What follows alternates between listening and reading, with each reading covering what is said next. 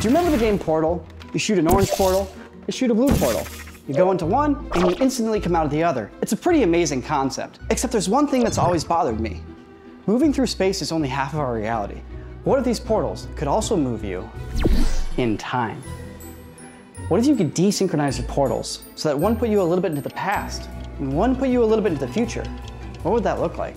Well, I'm gonna use all of my effects skills, some unconventional film engineering, and the most precise choreography I've ever had to do to show you this idea brought to life.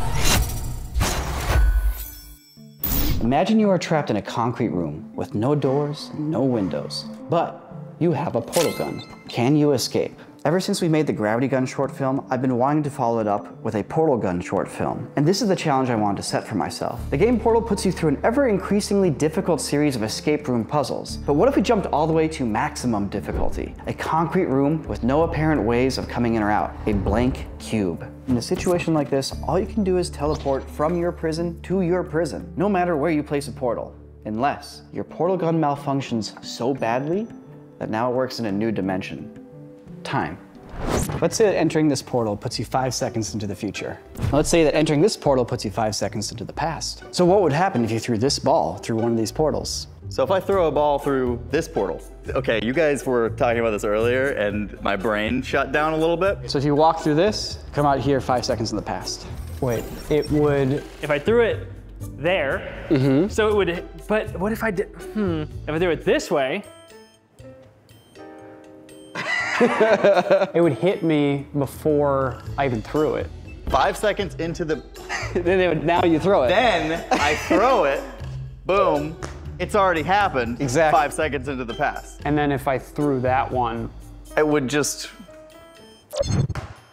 and then I would wait five seconds, Three, four, four, five, and then I caught it this time because I, I was ready for it. that's fun. Took- it took me a second. I had to compute, I had to load. Well, I understand it, sort of. Not really. I don't really understand time travel stuff because none of it's real and makes any sense. Now, before we go on, there's one thing that I should mention. Niko, I'm you from the future. You need to do exactly what I say. Don't listen to him. He's not the real Niko from the future. I'm the real Niko from the future. And you need to do exactly what I say. There's two of you, huh? Tell me something only the real Niko would know. The, the sponsor of today's video is Squarespace. All right. How about you? Squarespace has an extensive library of award-winning templates that will suit all. Everybody knows that. One more shot. Better make it something good, buddy. Squarespace offers a new set of blueprint tools that let you personalize your webpage in a guided process using professional layouts that makes your website a bespoke creation exactly for your needs, optimized across every device. All right, keep going. Squarespace also offers a seamless way to accept payments, whether it's credit card, Apple Pay, PayPal, or even Afterpay and ClearPay. And if you go to squarespace.com slash corridor crew, you can get 5% off your next website or domain. Whoa, actually, it's 10% off. Man, good call. I'm glad you knew I was real. Ah, why'd you shoot me? Oh, you're the evil Niko. Yeah, I'm the evil Niko. What was I talking about again? Oh, right. Basically, when you add time travel to something, it gets really weird really fast. Now, when you want a character to do something, there's already an infinite amount of that character doing that thing. This also calls into question the whole idea of free will. If I walk out of that portal, it means I have to walk through this portal in the future. But what if I don't? What if I change my mind? Are my atoms gonna explode? Or should I have never come out of that portal in the first place because I never went into that portal in the future? And on top of that, I have to deal with overlapping timelines, meaning I have to deal with time synchronized clones of myself interacting with myself. Doing a clone effect is actually very simple. You put the camera on a tripod so it doesn't move, film you doing something on one side of the frame, and then you film yourself on the other side of the frame, stack them together, and boom, you got a clone shot. But there's just one problem. The shot is boring. You're doing a cool piece about time travel and portals. You gotta have cool visuals to match. The problem with this effect is that once you move the camera, the whole shot breaks. I mean, to do a clone shot with a moving camera requires moving the camera the exact same way for every single take, which no human can do. I mean, you need something like an industrial robot arm combined with like the ease of like Blender's camera animation system. I mean, if only something like that existed. Ow. This is the Sisu Cinema Robot lent to us by our friends at Sisu, and it fixes all of those problems that I just listed. It's easy to animate as a couple keyframes in After Effects or Blender, and it repeats the exact same motion every single time. Now I can have a dynamic moving camera while having as many clones of myself as I want. I've never been able to work with something like this before. It's super cool. This isn't even Sisu Cinema Robotics' biggest arm. They have a whole variety of them that you've seen used in food commercials and movies and a whole bunch of stuff. And they loaned it to us for the purpose of experimenting. So while this video is not sponsored, I do want to say thank you to Sisu. And if you guys have any ideas how we can use this in the future, well, leave some suggestions. We'll give it a shot.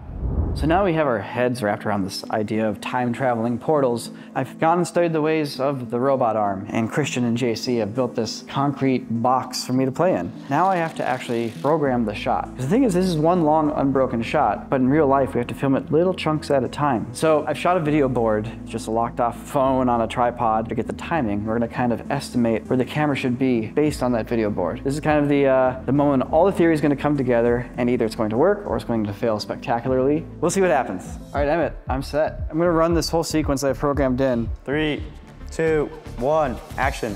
One, two, three, enters.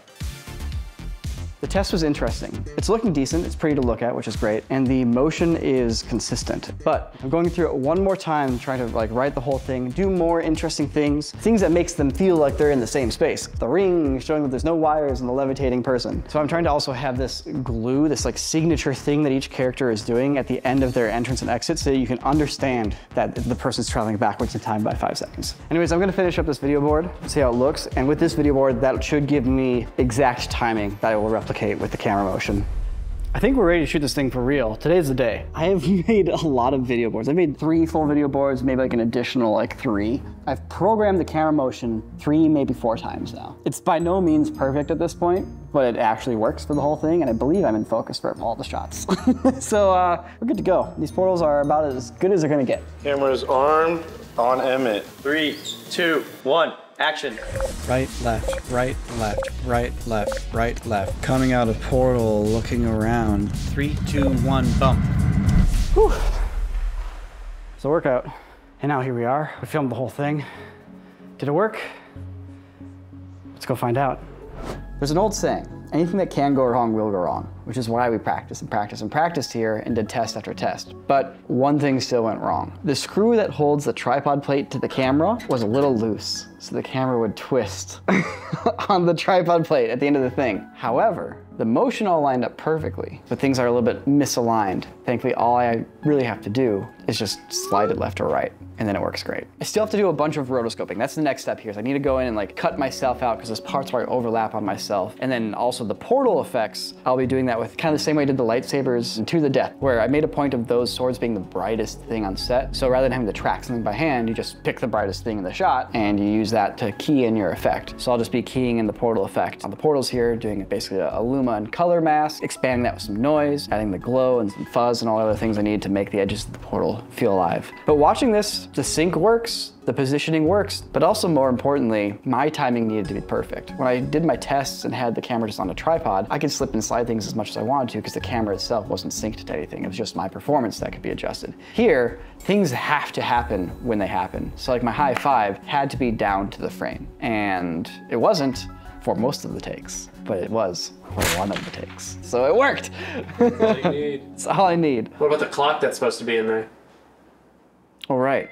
We wanted to have a clock in the room. So we didn't want to have to reset this clock for every single take. So I figured the whole thing's motion controlled. Let's just shoot a pass that's just the clock for the whole thing. And then for everything else that we film, I just won't have the clock there. I'll stick it in later. There's 12 shots now that I've cut together, but now I have to actually put one unbroken shot over the whole thing, which is the clock, and it needs to line up. I'm gonna do it right here in front of you. Let's see if it works. Yeah, it's working. It looks like the clock was there. There are some slight like micro jitters. It's not too bad. Done it. If this didn't work, I would have to do the whole thing over again. I do have some work ahead of me. I need to rotoscope myself here and there. I need to do the portal effect, some color keys, I need to do some sound design. But the important part is done and it's working. And now I just have to clean it all up. That's what I'm going to do for the next three days. So I've been working a few days on putting all this footage together, comping it. We were trying to bring to life the concept of portals with time travel. I'm curious if you guys think we did it. All I know is that when Austin and I were trying to wrap our heads around this whole thing, it made me just quit and I walked away. If I see something that's coherent, uh, you already did better than we did, so I can't wait to see what that looks like. I'm hoping to see something that could maybe inspire a real video game.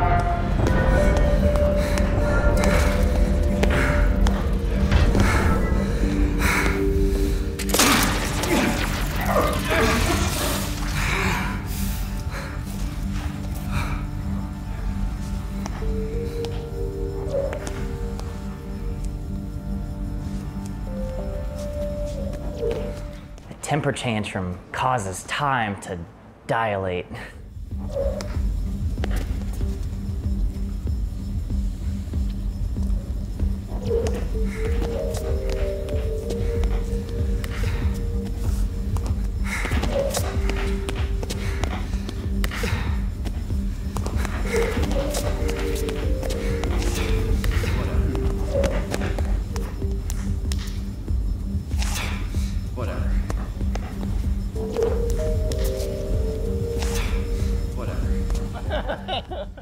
Like how it ran through the beats that you would think about if you were in that situation. I like how it's all played out in one shot. It's cool. It's crazy how you were able to get like one camera move, basically, that the whole video takes place in. So that, that's really crazy. The rock paper scissors moment too, where he comes through and he's already got that look on his face of like, oh, I know it's gonna be scissors Yeah. because I lost to scissors last time. That's such a fun character moment. Don't forget, this character is trying to escape this concrete box. So now that they've figured out time portals, how do they escape? And if you want to see how that happens, you check out the whole short on the Corridor channel.